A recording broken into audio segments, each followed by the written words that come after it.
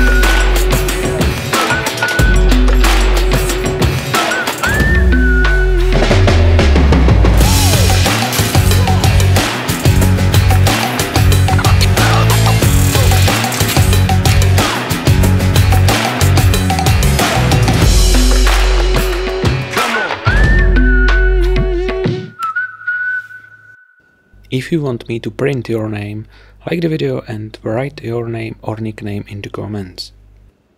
Which model do you like the most? Thanks for watching and don't forget to check out my other videos.